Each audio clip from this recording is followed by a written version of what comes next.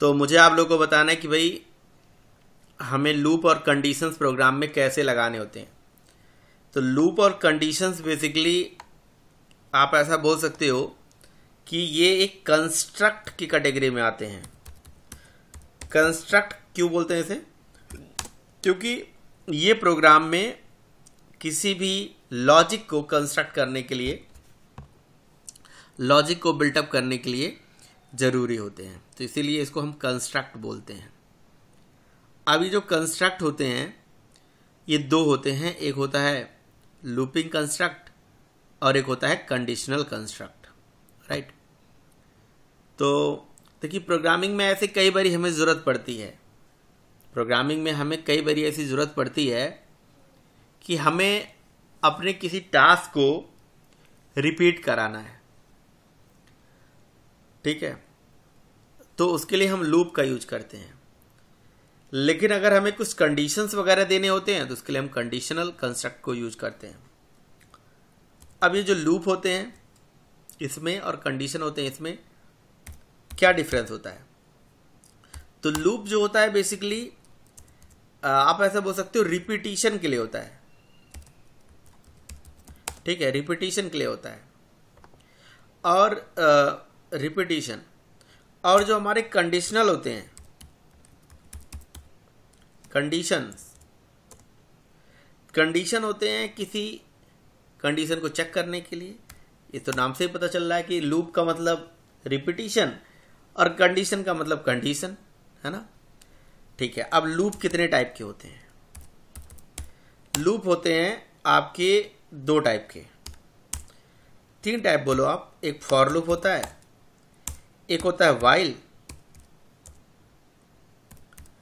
और एक होता है हमारा डू वाइल डू वाइल तो ये तीन तरह के हमारे पास लूपिंग कंस्ट्रक्ट अवेलेबल है। और अगला होता है आपका कंडीशंस तो कंडीशंस कौन कौन से होते हैं भाई? कंडीशन के अंदर आपका आ जाता है। हाँ जी? इफ़ एल्स एल्स इफ़ हाँ जी इफ़ एल्स आ जाता है। सी चलता है? तो रवि बताओ आप कि हम कब लूप किस लिए हम यूज़ करते हैं? रिपीटेशन के लिए? तो रिपीटेशन के लिए कब हम फार लूप यूज़ करते हैं कब हम वाइल लूप यूज़ करते हैं? If else switch case C A S C ये हो गया कंडीशन ठीक है नेक्स्ट स्टडी इफ़ एल्स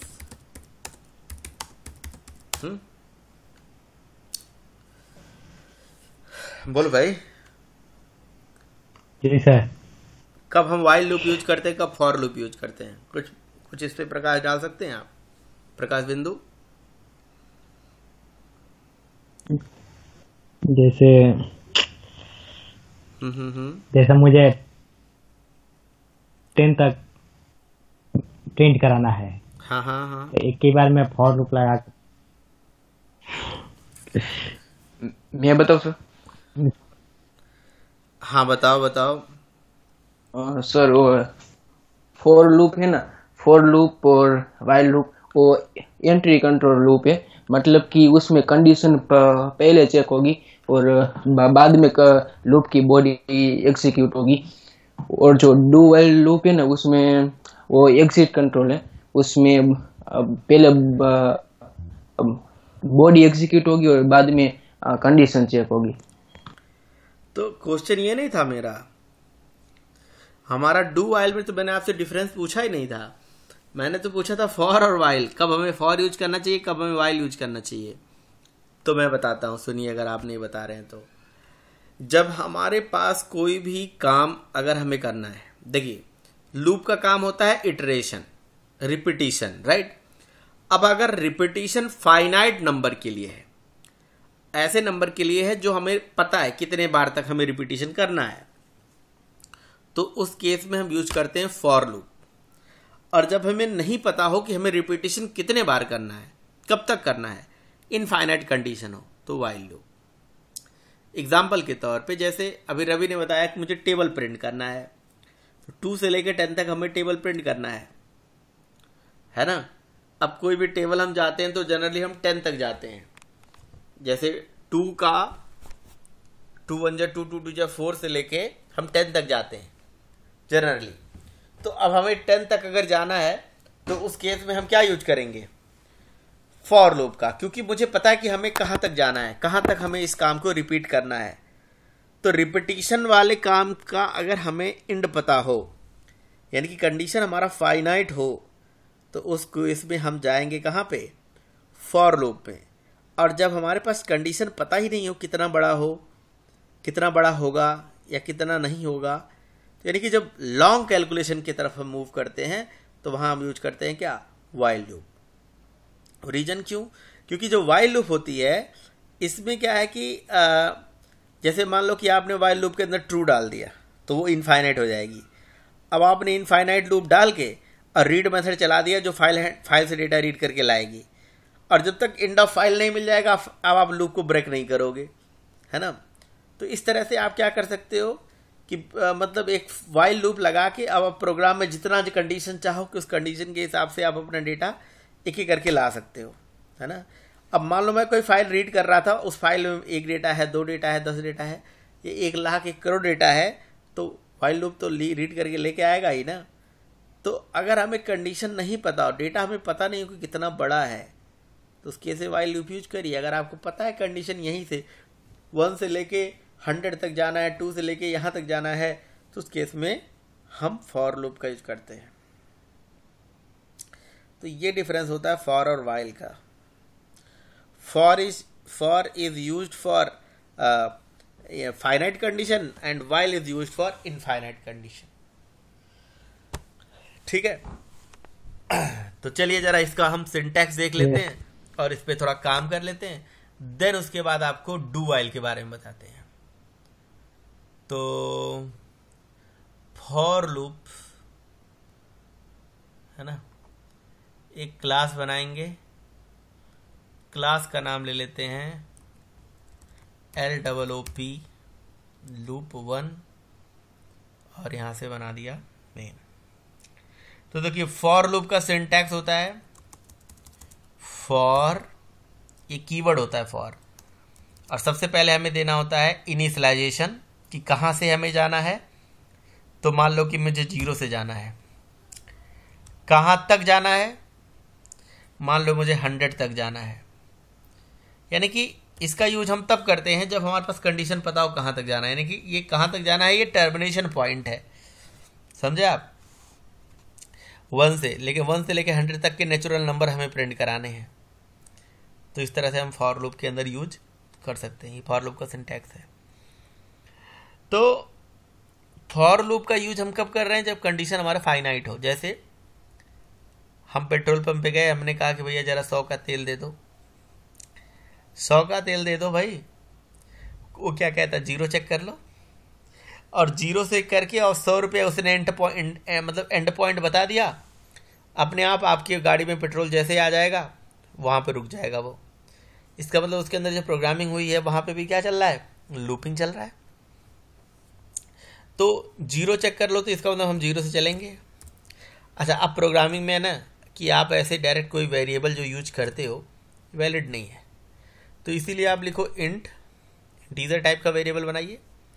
कोई एक वेरिएबल में इस वैल्यू को संभाल के रख लीजिए कि भैया यहाँ से हमें चलना है। तो ये सिंटैक्स होता है कि पहले हमें डिक्लेरेशन करना चाहिए किसी वेरिएबल का, जिससे ये पता चल जाए कि उसको कहाँ से जाना है। कंडीशन दे दीजिए, यानी टर्मिनेशन दे दीजिए कि आई इज़ लेस देन या ग्रेटर देन हंड्रेड तक जाना है। अब ये जाएगा कैसे? इसके लिए इंक्रीमेंट या डिक्रीमेंट भी करना हमारे लिए ज़रूरी है। तो हमने लिख दिया यहाँ पे आई प्लस प्लस तो आई की ज़ीरो से स्टार्ट करना है। एक हंड्रेड तक लेके जाना है लेस देन हंड्रेड तक जाना है और एक एक करके इंक्रीमेंट करते रहना है।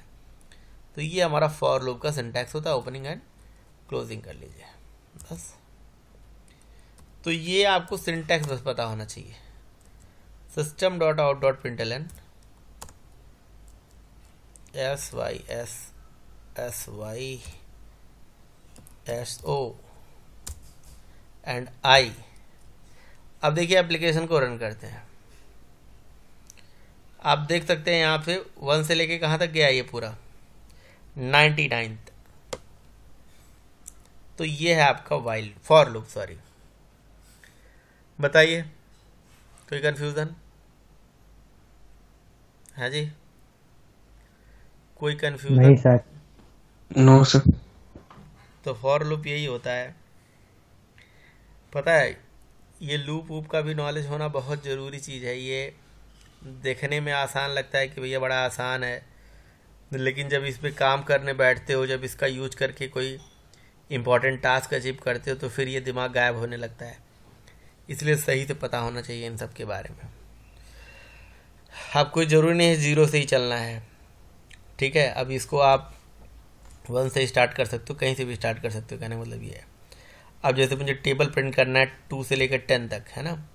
और टेबल किसका प्रिंट करना है, मैं यूज़र से इनपुट ले सकता हूँ। तो हमने यहाँ पे स्कैनर चला दिया। Scanner S G goes to new scanner है ना? और इसके अंदर हमने लिख दिया system dot in system dot in और यहाँ पे system dot out dot N enter enter the number for table for table. Table जिसका प्रिंट करना है वो नंबर एंटर करिए। जो भी नंबर एंटर कराओगे, उसको हम एक्स वेरिएबल में रीड कर लेंगे S dot next int method के थ्रू नेक्स्ट इंट ऐसे लिखना होगा ना।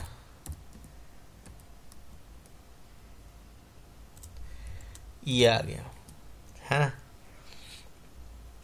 एस डॉट नेक्स्ट इंट में ये आ गया। अब इस एक्स को क्या करो? आई से मल्टीप्लाई कर दो। तो इससे क्या हो जाएगा आपका?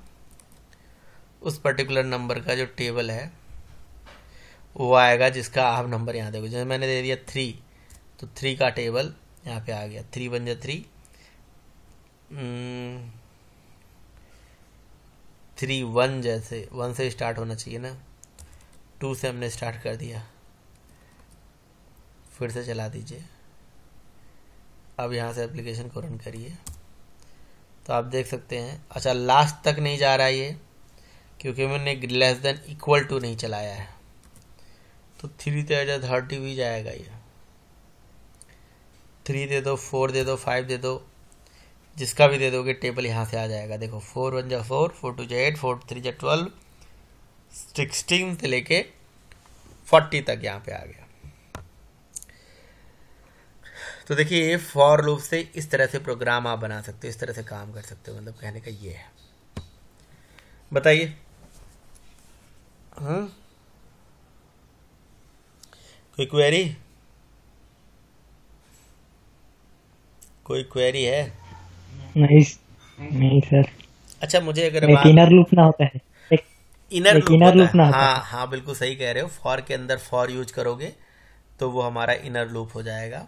लेकिन मुझे एक बात बताओ कि अगर मैं यहाँ पे ये चाहता हूँ कि फोर इंटू वन ऐसे करके चले फोर इंटू टू ऐसे करके चले तो कैसे चल सकता है ये? तरीका है? Four into one is equal to four four into ऐसे करके समझ रहे हो मैं क्या कह रहा हूँ? जैसे टेबल हम लिखते हैं।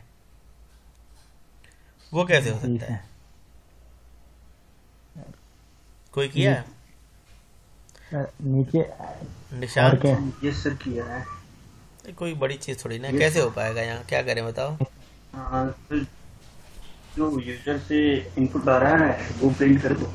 वो हाँ, जो लूप चल रहा है आए। उसको प्रिंट कर दो और जो I into one equal to में इसको प्रिंट कर दो इक्वल टू के बाद। हाँ सिस्टम। डॉट प्रिंटल के नीचे आई प्लस वन लिख देंगे नहीं हो सकता है। अरे वो वो कैसे हो पाएगा? अब देखो सबसे पहले हमें एक्स चाहिए है ना? एक्स मतलब जो टेबल हम चाहते हैं जिसको मतलब प्रिंट करना चाहते हैं। एक्स उसके बाद इनटू चाहिए हमें।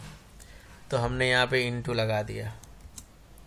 ठीक है? फिर हमने यहाँ पे प्लस लगा दिया। और फिर हमें क्या चाहिए? आई चाहिए। फिर हमने प्लस लगा दिया। फिर इक्वल टू लगा दिया। मतलब डबल कोड के अंदर इक्वल टू इक्वल टू और फिर लास्ट में प्लस लगा दिया। तो इस तरह से हो पाएगा। बिल्कुल हो जाएगा, इसमें कोई बड़ी बात नहीं है। अब आप ज़रा देखिए। ये देखिए सिक्स सिक्स वन जा सिक्स सिक्स टू जा ट्वेल्व सिक्स थ्री जा एटीन सिक्स फोर जा ट्वेंटी फोर। ठीक है? सही चल रहा है ना? ऐसा कर सकते हैं। बोलिए भाई। बढ़िया है? यस सर तो ये फॉर लूप के तो फॉर लूप का क्या सिंटैक्स होता है? हाँ जी? कौन बताएगा? फॉर लूप का क्या सिंटैक्स होता है? हाँ सर पहले इनिशियलाइजेशन उसके बाद में कंडीशन चेक करेगा उसके बाद में इंक्रीमेंट और डिक्रीमेंट बिल्कुल सही बात है। Initialization condition increment and decrement तो कंडीशन बोलो या आप ऐसा टर्मिनेशन भी बोल सकते हो कोई दिक्कत वाली बात नहीं है। कोई कंडीशन भी बोल सकते हो, कोई टर्मिनेशन भी बोल सकते हो। ठीक है? तो चलो, अब बात कर देते हैं। जैसे रवि ने बात करा कि भाई नेक्स्टेड भी होता है कुछ तो नेक्स्टेड लूप के बारे में भी बात कर लेते हैं। तो अब हमने L double O P loop second second category की बात कर लेते हैं भैया लूप के। लूप की सेकंड कैटेगरी होती है भैया, एक फॉर लूप हमने यहाँ लगा दिया, है ना? फॉर फॉर हम कहाँ से जाएँगे? से हमने यहाँ पे ले लिया int I equal to one से ले लिया। वन से हमें जाना है। कहाँ तक जाना है? I is less than I is less than हमें जाना है। से हमें फाइव तक लेके जाना है। फाइव ले लिया and then semicolon I plus plus ले लिया। ये हमने एक फॉर लूप चलाया। अब ये सिंपल फॉर लूप है जो फाइव टाइम तक चलेगा। लेकिन मैंने क्या किया, इसी लूप को कॉपी करके दोबारा इसी के अंदर पेस्ट कर दिया लूप के अंदर लूप और इसके वेरिएबल का नाम बस बदल दिया आई की जगह पे जे कर दिया। तो ये चीज़ बन गया आपका नेक्स्टेड फॉर लूप समझे? तो लूप के अंदर जो लूप होता है दैट इज़ नेक्स्टेड और नेक्स्टेड फॉर लूप की कंडीशन होती है कि अगर नेक्स्टेड फॉर लूप आपने बना रखा है, और आप इसको चलाइए यहाँ पे तो और से आप आई और जे दोनों को प्रिंट करिए तो क्या प्रिंट होगा? कैसे चलेगा कहानी? पता है इसके बारे में आप लोगों को कुछ? एक कॉलम चलता है एक रो चलता है सर। कॉलम रो कहोगे तो हो सकता है लोगों को समझ में ना आए। हम ऐसा बोल सकते हैं देखिए सिंपली जब फॉर लूप के अंदर लूप आप चलाते हो तो इस आई की एक वैल्यू के लिए जैसे आई क्या है? आई अभी वन है तो फिर आई टू होगा, फिर आई थ्री होगा, फिर आई फोर होगा, इस तरह से आई फाइव टाइम तक चलेगा। है ना? तो आई की एक वैल्यू के लिए जे अच्छा ये इक्वल टू कर दूँ ना यहाँ पे? इक्वल टू कर दूँगा तो ये फाइव टाइम तक चलेगा ये तो आई की एक वैल्यू के लिए जे जितने बार लिखा गया, उतने बार चलेगा। जे जितने बार लिखा गया है, उतने बार चलेगा। तो आई के आई के वन के लिए जे पूरा पाँच बार चलेगा। फिर आई के टू के लिए जे पूरा पाँच बार चलेगा। आई के थ्री के लिए जे पूरा पाँच बार चलेगा। इस तरह से। तो इस तरह से आउटपुट आएगा। देख सकते हो आप। आई के वन के लिए जे वन था। आई के वन के लिए टू था, थ्री था, फोर था, फाइव था। तो वन के लिए पाँच बार चला है। समझ में आ रहा है या नहीं आ रहा है? आ रहा है सर। हैं? आ रहा है ना? यस सर तो आई की एक वैल्यू के लिए जे जितने बार लिखा गया होता है वो उतने बार चलता है। ठीक है? तो ये होता है इनर लूप की कहानी। अब इनर लूप में क्या है? आप लूप को यूज़ करके पैटर्न्स बना सकते हो। जैसे अभी मुझे ऐसा कोई पैटर्न बनाना है जिसमें इसी तरह का कुछ कंडीशन देना है। कि भैया आई, उतने बार चल जाए, जे, जितने बार है, उसके इक्विवेल इक्विवेलेंट चल जाए। और जहाँ पे आपने स्टार प्रिंट कराया, उसके जगह पे कुछ और प्रिंट हो जाए। है ना? तो कर सकते हो आप ऐसा। अब जैसे फॉर एग्जांपल मैंने आई इक्वल टू वन से लेके i is less than equal to five i plus plus चला है। और j is equal to one j is less than equal to यहाँ फाइव न करके अगर मैं यहाँ फाइव के जगह पे आई दे दूँ, क्या दे दूँ? आई ठीक है? और यहाँ पे जो हमने प्रिंट कराया है, इस चीज़ को प्रिंट ना करा के यहाँ पे डबल कोड में मैं प्रिंट करा दूँ। स्टार ठीक है? तो अब देखिए एक पैटर्न बन के आ जाएगा यहाँ पे।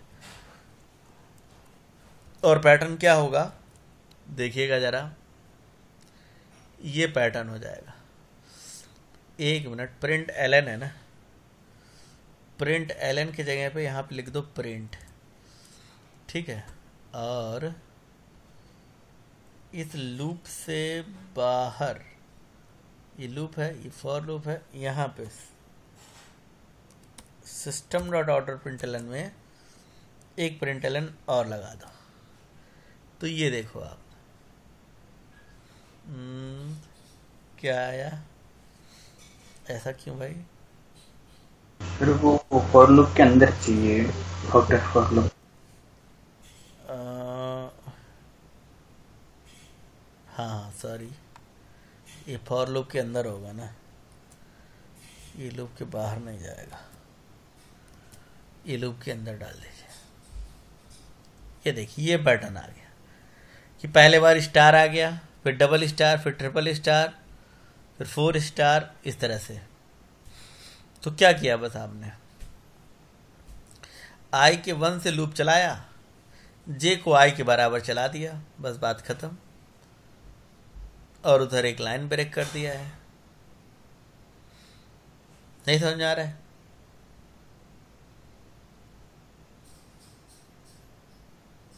बोलिए भाई। आ रहा है सर आ रहा है। तो अगर मैं अगर मैं आपको अगर मैं आपको कुछ इसी से रिलेटेड असाइनमेंट दूँ तो बनाओगे? यस सर ठीक है। बहुत ही आसान से असाइनमेंट दे देता हूँ इसी में। अब आपको इसी का उल्टा करना है बस। इसी जैसे यहाँ पे वन है फिर टू है फिर थ्री है फिर फोर है फिर फाइव है। अब आपको उल्टा करना है। कि पहले फाइव होगा। मतलब ये चीज़ है ना इसको करो कॉपी और इसी को उल्टा कर दो रिवर्स कर दो। ये आपको बनाना है। यहाँ से हटाइए। यहाँ लगा दीजिए। यहाँ पे सबसे ऊपर फाइव होगा। जी सर बनाए। नहीं ये बनाना है आपको। बना लीजिएगा। ये टास्क है आपके लिए। ठीक है? जी सर। ये। ये आपके लिए काम है। आप कहिए तो मैं बनाऊँ वैसे बाकी अगर आप बना लोगे तो अच्छी बात है। नहीं सर। तो इस तरह के पैटर्न्स बनाने की कोशिश करिए प्लीज़ ये सब क्वेश्चन इंटरव्यू पूछा जाता है। और ये पैटर्न नहीं और भी कठिन कठिन पैटर्न्स आते हैं। एक तो एक तरफ़ से है। फिर फिर अभी और बनता है इसके अलावा भी बनता है। डमरू वाला। डमरू वाला बनता है। हाँ बिल्कुल बनता है। सही कह रहे हो। पैटर्न बहुत सारे हैं।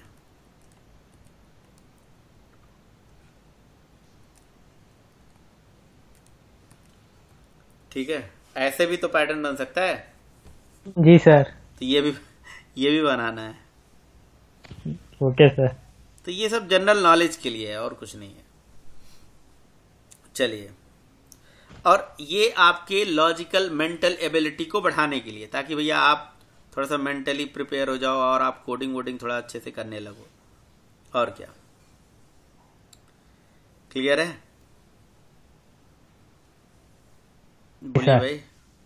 यस सर ठीक है तो आप फॉर लूप का यूज़ करके आगे अच्छा लूप फॉर लूप में भी आप कुछ स्टेटमेंट अलग से यूज़ कर सकते हो। जैसे मान लो कि आप किसी कंडीशन के हिसाब से प्रोग्राम में कहीं पे कुछ ब्रेक कराना चाहते हो तो कंडीशन लगा के आप उसको ब्रेक भी करा सकते हो।